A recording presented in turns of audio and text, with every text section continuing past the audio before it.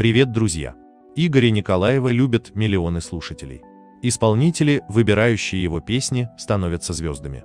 Автора шлягеров ценят коллеги, называя гордостью России, как Лариса Долина, уникальным явлением в искусстве, как Алла Пугачева, и просто гением, по оценке Филиппа Киркорова.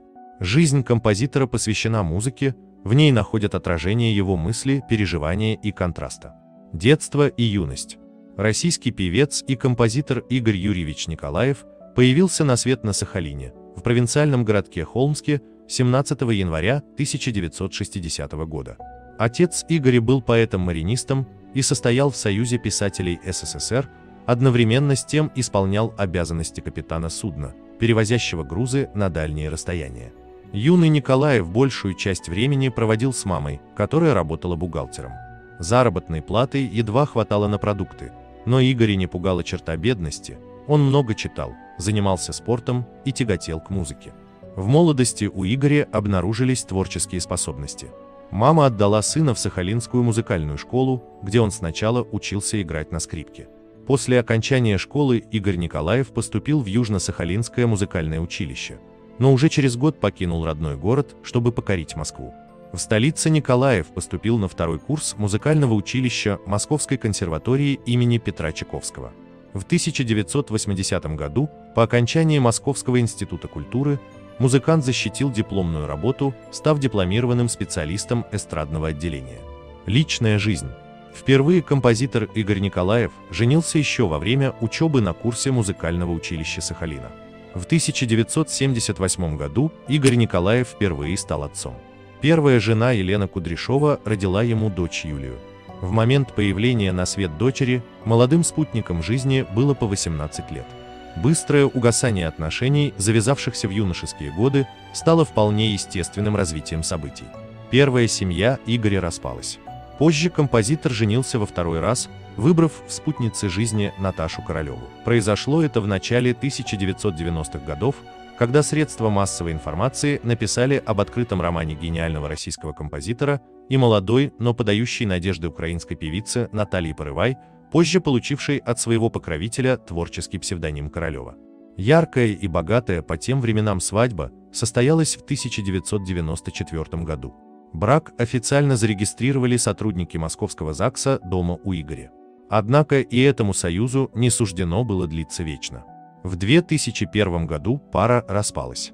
Причиной развода, как позже рассказала сама певица, стал интерес Николаева к другим женщинам. После первой измены Королева дала супругу время на осознание ситуации и принятие решения. Прошел год, но ничего не изменилось. Наташа инициировала бракоразводный процесс, прошедший на глазах всей страны. Музыкант пытался вернуть супругу, делал громкие заявления со сцены, однако Королева осталась непреклонной. Спустя пять лет после расставания в интервью Игорь признается, что женщины, которые встречались ему в тот период, являлись неким подобием Наташи. Желание повторить то сильное ощущение и ту эмоцию приводит к неосознанному поиску, похожей на ту самую. Конечно, клонированных людей не бывает, но некое сходство можно отыскать. Еще через 4 года у артиста появилась третья супруга Юлия Проскурякова, чье сходство с Наташей Королевой отметили и поклонники, и репортеры. Знакомство Игоря и Юлии состоялось в Екатеринбургском дворце молодежи, где девушка в детстве занималась в вокальной студии, а в тот раз музыкант приехал на гастроли. Проскурякова работала в нотариальной конторе, и подруга вечером позвала на концерт столичной знаменитости. Юля до сих пор удивляется, каким образом пробилась сквозь толпу поклонников и охрану, чтобы продемонстрировать Николаеву вокальные данные. Игорь оценил и попросил прислать ему диск с записями. Позже, когда Юля захотела вернуть диск, композитор предложил остаться в Москве, снял для девушки квартиру. Но еще в течение года чувства известного музыканта и простого юриста оставались платоническими. Долго шла притирка характеров. Пара съехалась в одну квартиру после ссоры. Николаев заявил, что у него нет сил конфликтовать, и он хочет, чтобы Юлия всегда была рядом. В сентябре 2010 года пара узаконила отношения. Заслугу в этом приписывают матери Ксении Собчак, сенатору Людмиле Нарусовой, которая посчитала, что Игорь и Юля зажали свадьбу. Пресса сообщала, что певец тайно женился в Америке, и никакие оправдания Проскуряковой в расчет не принимались. Вот и Нарусова, повстречав влюбленных на конкурсе «Новая волна», не поверила. По возвращении в Москву Игорь сделал девушке предложение.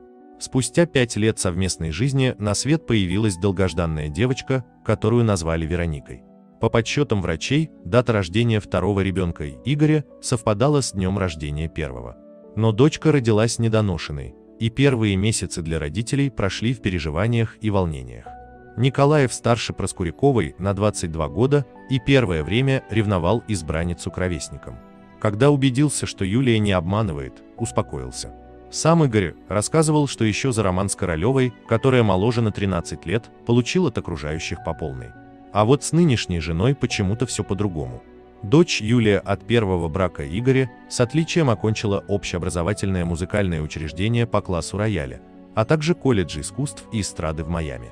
В юном возрасте девочка снялась в детском телевизионном проекте, исполнив специально написанную композицию «Винни-Пух». Позже участвовала в съемках клипа Аллы Пугачевой «Незваный гость» и нескольких клипах папы. Юля живет в США, после развода с мужем Джоном стала учиться на врача. Дети композитора Юлия и Вероника ладят друг с другом. Из личной жизни Игорь не делает секрета, частенько публикует фото бывших и нынешних членов семьи в Инстаграме. С Королевой Николаев сохранил дружеские отношения, артисты общаются, поздравляют друг друга на страницах социальных сетей со значимыми событиями. С мамой Юли, так назвали девочку, Игорь прожил около 13 лет. Поэтому пока она была маленькой, родители жили совместно и сумели уделять достаточно времени воспитанию.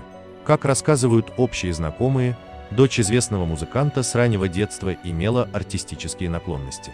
Родители делали все возможное, чтобы она могла как можно раньше начать карьеру в этом направлении. Личная жизнь старшей дочери Николаева сложилась не совсем удачно. Она в 2005 году вышла замуж за гражданина Америки Джона. Он был старше Юли на 18 лет. Добрый, веселый и отзывчивый. Брак просуществовал около 10 лет и распался. Причина – большая разница в возрасте, которая мешала супругам понимать друг друга. Развод с Джоном Юля очень тяжело переживала, но несмотря на это смогла сохранить с ним дружеские отношения. Ее муж после развода женился на женщине своего возраста, с которой, по его словам, он очень счастлив. Видимо, из-за 18-летней разницы в возрасте, пара быстро развелась и наскучила друг другу. Юля сейчас 42 года. Новое увлечение – фармацевтику. Несостоявшаяся певица бросила еще быстрее, чем сцену. По сути, она сейчас бездельничает, живя на деньги богатого папы. Тем не менее, отношения и с ним, и с бывшей женой, и нынешние у нее более чем прекрасные. Сам Николаев переживает, что любимая дочка не смогла найти себя, но очень надеется, что она еще сможет это сделать. Когда журналисты задают по поводу нее вопросы, старается ее защитить, указав, что время на поиск собственного любимого дела у девушки еще есть. Обе Юли тоже подружились. Жена и старшая дочь Николаева любят сидеть за чашкой чая, болтать, гулять по городу или совершать набеги на магазины. Женщины понимают друг друга с полуслова. Результат такой дружбы – песня «Ты мое счастье», которую написала Юлия Николаева, а исполняет Юлия Проскурякова. Пока Николаев растит вторую дочь Веронику, которую ему подарила третья жена Юлия Проскурякова. Он прочит маленькой будущей звезды, хотя сама Кроха пока об этом даже не догадывается. Шагнув на большую сцену, Ника снялась в клипе с мамой, но похоже больше на папу. Отметив 60-летие, Игорь Николаев со своей нынешней женой Юлией Проскуряковой и младшей дочерью прилетели в Америку. Родственники встретились в аэропорту. Старшая дочь познакомилась с сестричкой, которая младше ее на 38 лет. Юля тщательно подготовилась к приезду, организовала для малышки вечеринку и превратила территорию квартиры в Систерленд. Она учит ее английскому и воспитывает. По словам счастливого отца, это была трогательная встреча двух сестер, живущих далеко друг от друга. Жена артиста, хотя и говорила, что не ставит цель сделать карьеру певицы, тем не менее выступает на сцене.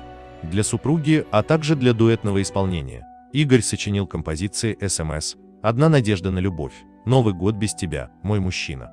Недавно в сети прогремел скандал, связанный с супружеской жизнью Игоря Николаева и его нынешней женой Юлией Проскуряковой. Напомним, что Юлия опубликовала в сеть подробности семейной жизни с эстрадным певцом. Она написала, что Игорь постоянно использует приказной тон и перечить его словам просто недопустимо. Сейчас эта публикация удалена, фанаты решили, что это было сделано по инициативе Николаева, потому что жена не может перечить мужу. Такое двуличное поведение Николаева возмутило фанатов, потому что они считали его идеальным мужем и отцом, а написанное в публикации Проскуряковой полностью не соответствовало их ожиданиям. Пользователи уверены, что она должна подать в суд на развод, а после него Игоря Николаева лишат родительских прав. О пьянстве Николаева фанаты предположили из-за поведения и внешнего вида музыканта в последнее время. Например, ситуация на борту самолета и частое появление под шофе на публике, а также все стало на свои места после слов супруги Николаева. В последнее время Игорь мало публикует фотографии с семьей и младшей дочерью. На всех видеозаписях с дочкой на заднем плане слышится голос матери, которая явно пытается ограничить общение ребенка с отцом из-за его тирании. Делитесь этим видео с друзьями и берегите себя. А также не забывайте подписаться, поставить лайк и нажать на колокольчик, чтобы не пропустить новые видео.